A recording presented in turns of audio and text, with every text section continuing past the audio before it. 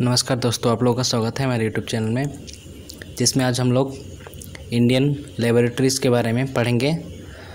हमारे देश में जो अलग अलग लेबोरेटरीज़ हैं, वो कहाँ पे अवस्थित है, उसके बारे में हम लोग देखेंगे। तो चलिए स्टार्ट करते हैं। पहला लेबोरेटरी है central scientific instrument organisation Chandigarh में है। Central leather research institute Chennai में है। Indian institute of petroleum Dehradun में है। Central mining research station Dhanbad में। सारे के सारे question exam point of view से बहुत इंपॉर्टेंट है। Central fuel research institute Dhanbad में है, जो कि Jharkhand. National geophysical research institute Hyderabad में है। नेशनल मेटलर्जिकल लेबोरेटरी जो है, जैस जमशेदपुर में है।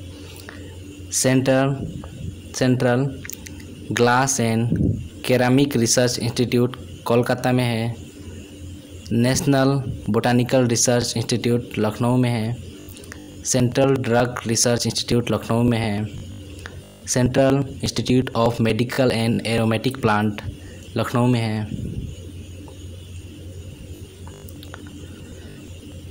central food technological research institute Mysore में है central environment engineering institute Nagpur में है।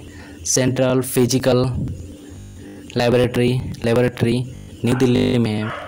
Pulses research laboratory Pachmarhi Madhya Pradesh में है। National biological laboratory Palampur, Himachal Pradesh में है। National institute of oceanography, Panaji, Goa में है। Central electronic engineering research institute Pilani Rajasthan में है।